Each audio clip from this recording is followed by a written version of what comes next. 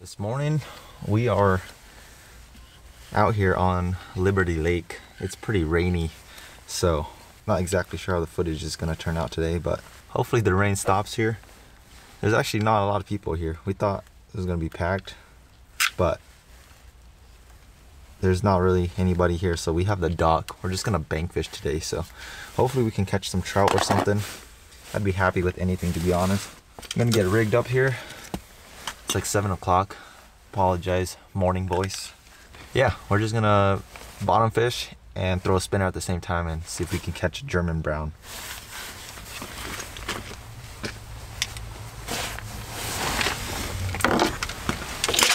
Water looks clear. And yeah, I guess we'll just throw a bottom fishing rig out this way so I can cast over here. Just heard a turkey gobble. So for today, I'm going pretty simple. Um, just because mainly it's just going to be trout that we're going to catch today. So I do have my Ned rig just in case. And then uh, I just have a bunch of like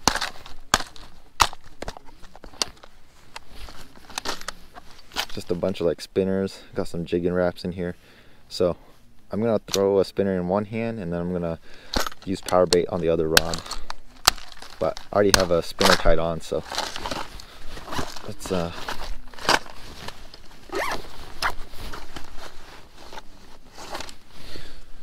let's get our bottom fishing rig ready to go. So if you don't know what a Carolina rig is it's pretty simple. So pretty much your main line is up here which is this yellow line right here. It's got a half ounce egg sinker which is free floating on your your line. You got a bead got a swivel then you got a six pound test to a treble hook. This is a size 16 treble hook and my main line for this one is 15 pounds but I normally use 10 pound. But since I had 15 pound on this reel right here then that's what we're gonna go with to start. We're just gonna get some power bait. And again if you watch my other trout fishing videos you don't need a lot of power bait. All you want to do is just have enough to cover the hook but don't have so much extra where it prevents you from getting a good hook set. So we're just gonna start with a sherbet colored power bait. we're just gonna take a little bit and we're just gonna roll it up into a little ball. Once you have it into a ball, just slide it onto your hook. And then just kind of like push it down onto the hook and make sure the power bait sticks onto your hook good and that's pretty much it just throw it out there I only have like a 24 inch leader so it's not the longest but here it's pretty shallow. Whew, that thing flew. And so here so if you guys look there's these holes right here well it's essentially a rod holder. So we can just stick that in there reel up our slack and that's good to go. Now I just gotta pay attention to that.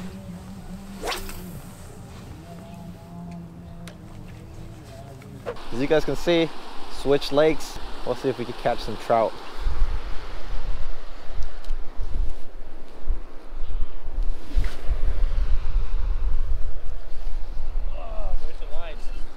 Oh, way over here.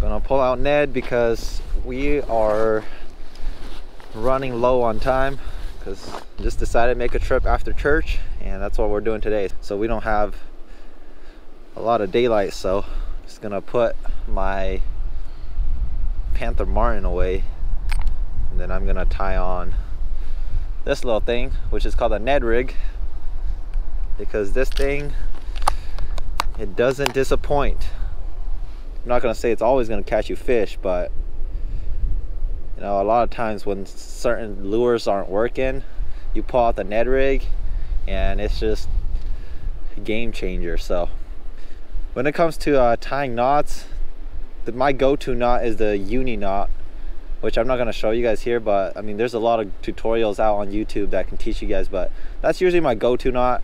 Sometimes I'll tie the Palomar knot and stuff like that, but for me, I just like the uni knot because you know, it's it's pretty strong and it's just easy to tie.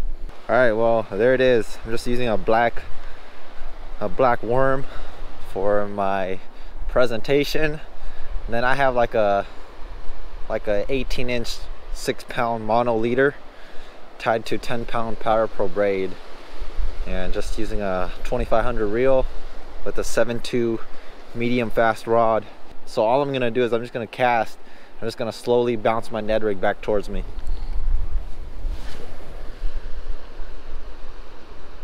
Launch it way out there. So right here, there's a lot of weeds and a lot of those weeds are pretty strong. So don't wanna really get snagged in there, but with the Ned rig, you really have no choice because you're bouncing it off the bottom. So.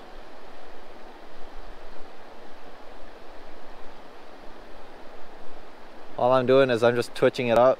It's just a bunch of repetitive U's where it just goes up, hits the bottom, and then up, hits the bottom, up, and hits the bottom. Just doing that, and then sometimes I'll have occasional pauses.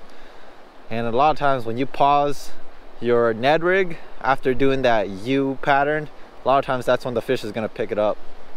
But again, today we're kind of just testing out the lakes, you know, because snow is melting and uh, we're all just anxious for spring to get here and, you know, have some more active fish.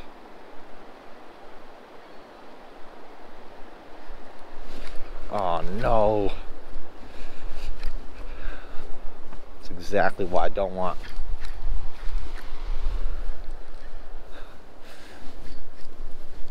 Thank you. Came off. Every time you get a snag, you always want to check your line. Don't want to set the hook on a big fish and then just have your line snap because you didn't check it.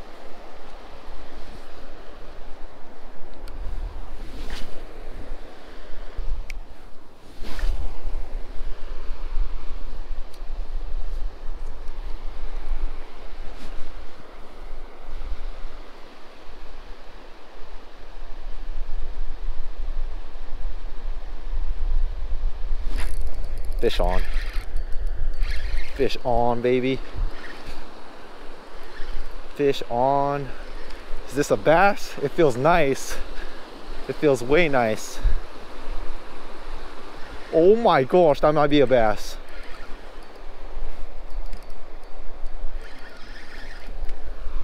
Dude, I have no idea what this is.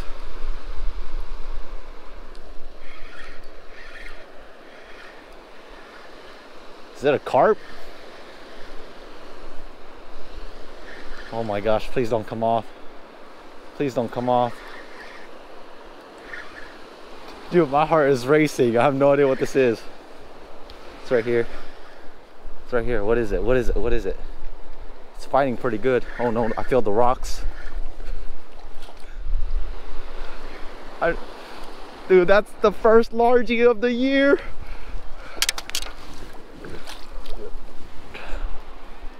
Oh my gosh, let's go. I'm so pumped right now. First largemouth of the year. Look at that beast. okay, maybe it's like a three pounder. But that's the first largemouth of the year. Look at that beast. I'm so pumped. That's the first largemouth of 2020. it's been so long since I've seen a bass that it looked big, but it's only like a, it's only like a, maybe, yeah. Maybe five, dude.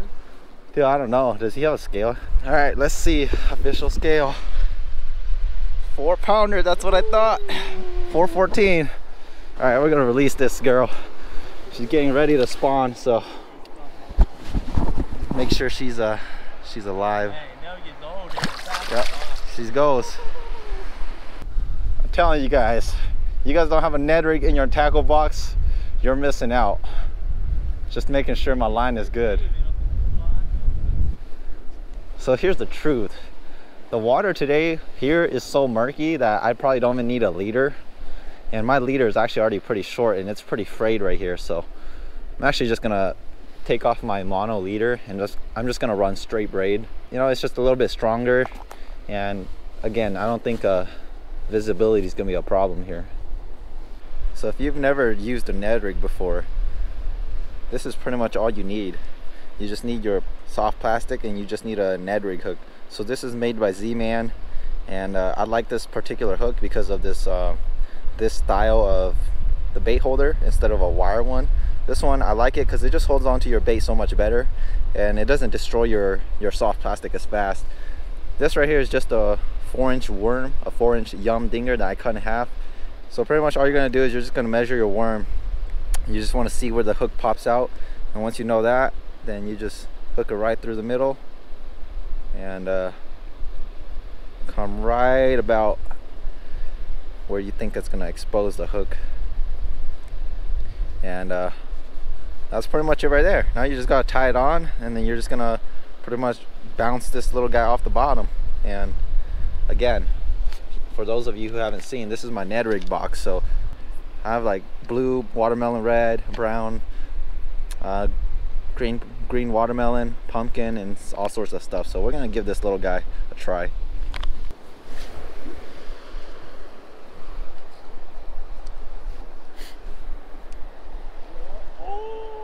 You want to be? What is that? I'll land it for you.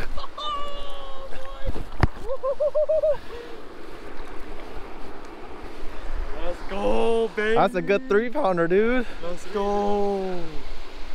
Dude, way to stick with it, dude. Heck yeah, way to stick with it.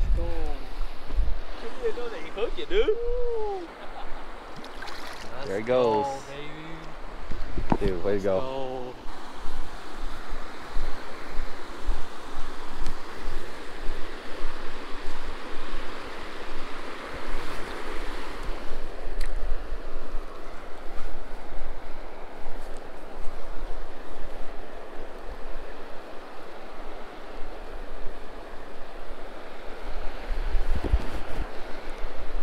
that was a hit.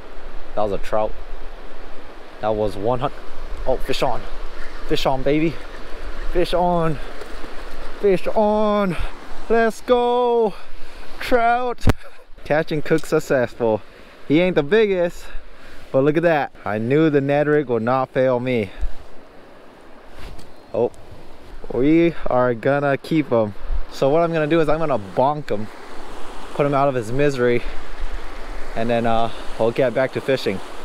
All right, so we've been fishing for a while now, and uh, the bite just kind of died off, both the trout and the largemouth.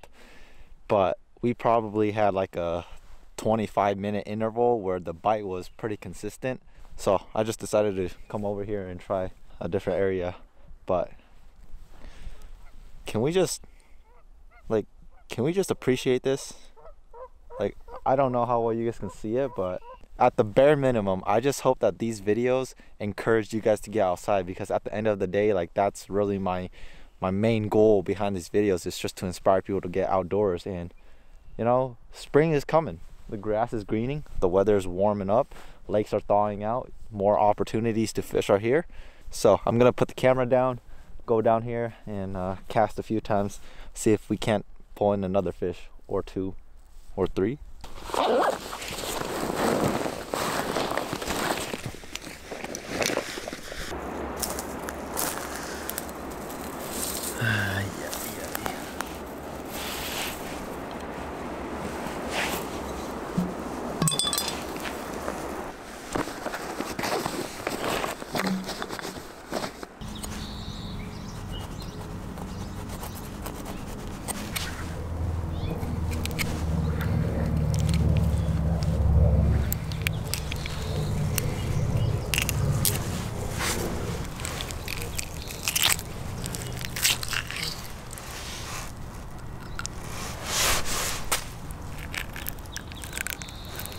So for this catch and cook, we're not doing a full-blown meal. We're actually just doing an experiment uh, because this is something that's been on my mind. This is a recipe that I want to get dialed in before fall hunting season because I think if I can get this recipe dialed in, then this is probably what I'm going to start taking with me when I'm out hunting because I don't know if you ever had a, uh, like tuna salad with crackers, but I absolutely love tuna salad with crackers. So I figured instead of having to go to the store and constantly paying money to buy tuna salad, I figured, you know what? Why not try to make it yourself? So that's what I'm doing today. With that little trout that we caught, we're just gonna experiment with it.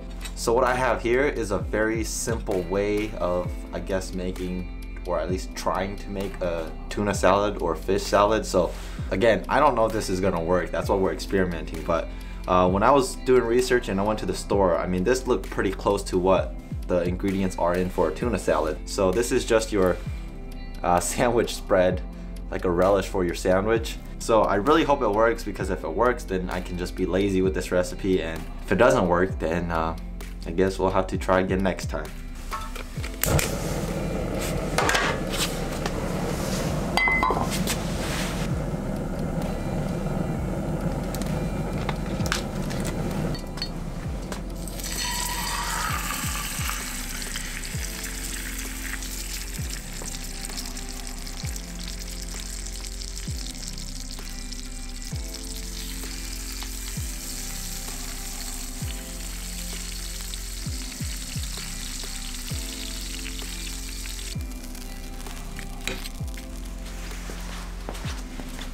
So this is actually normally how I grew up eating trout when my mom made fish for us. But today we're just gonna try to add it with this right here and we'll see how it turns out. I'm actually kind of anxious to see. So all we're gonna do is we're just gonna peel off the meat from the bone. That way we have boneless meat. That's the skeleton right there. Throw this away.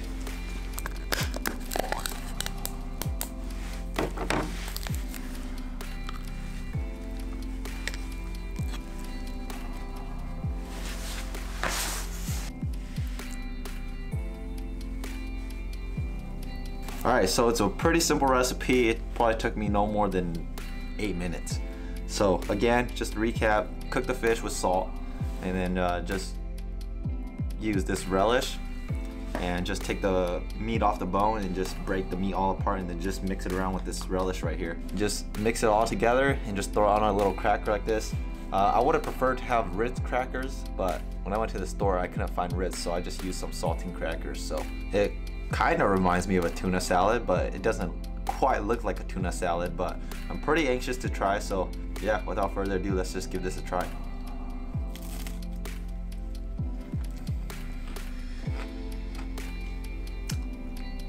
Wow, that is actually pretty good. That actually tasted a lot better than I was expecting. Now, in terms of comparing this to a tuna salad, like I can see that there's a similarity between the tuna salad and what I have here, but it's not quite the same as a tuna salad. Like I wouldn't put this up there with the tuna salad, but shoot, if I was really lazy and I was just saying, you know what, this is what I'm gonna pack for lunch when I go hunting, like I would not mind this at all. The presentation probably doesn't look the best, but sometimes you just you just gotta eat it. So So again, this was just an experiment. I just wanted to see if I could imitate tuna salad by going lazy and just using a ready to go relish. And the truth be said, it's not quite as good as a tuna salad, but it's actually not disappointing either. Like this is actually pretty good. It's not quite what I was looking for, so definitely I'll probably have to do a tuna, like a legit tuna salad recipe in the future with other fish, but for a first attempt at trying to replicate a tuna salad, I'd say it was a success. If I had to rate this on a scale of 1 to 10 with 1 being horrible and 10 being good, I'd probably give it an 8. Like it's actually not bad, it's actually pretty good. So yeah, again, this is just an experiment and I'm just trying to get my recipes dialed in right now so that come hunting season, I just know exactly what I need to do and get my food ready. So that way I don't have to keep going to the store and buying lunch and stuff like that. So yeah, that's kind of the whole gist of this catch and cook. Spring's coming up, so we'll definitely be able to diversify the species we are catching and what we're able to hunt. So thank you guys so much for watching and I'll see you guys in the next one.